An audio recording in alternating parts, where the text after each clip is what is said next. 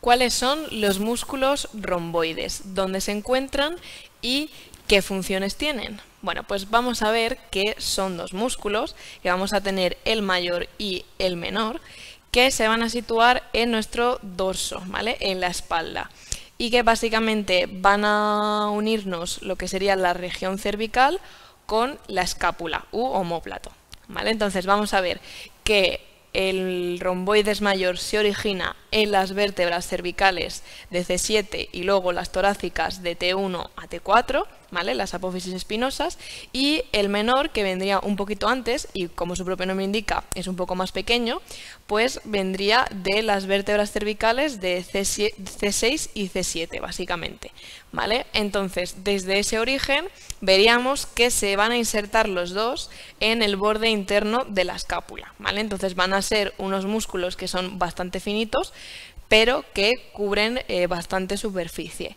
Y básicamente la función que van a tener es estabilizar la escápula, pero también moverla, ¿vale? En aducción, elevación y sobre todo lo que te decía, fijar la escápula mientras el brazo está haciendo otros movimientos, ¿vale? Entonces ahora te voy a poner el software de anatomía y ya te acaba de quedar claro dónde se sitúan exactamente todos estos músculos, qué forma tienen y cómo se sitúan.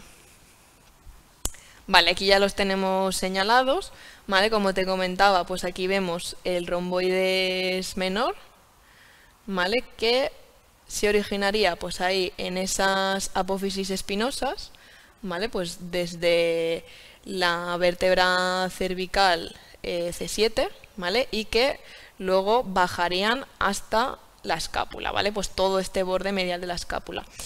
Y luego aquí en el romboides mayor, ¿vale? Pues también vemos lo mismo, que van a venirse ahí pues de o C7 o torácico, ¿vale? Porque puede variar entre persona y persona, pero sobre todo van a coger a nivel torácico todas las eh, primeras vértebras, desde T1 hasta T4, T5 más o menos, y va a hacer lo mismo, se va a insertar ahí en el borde medial de la escápula, ¿vale? Y tendremos las funciones que ya hemos comentado.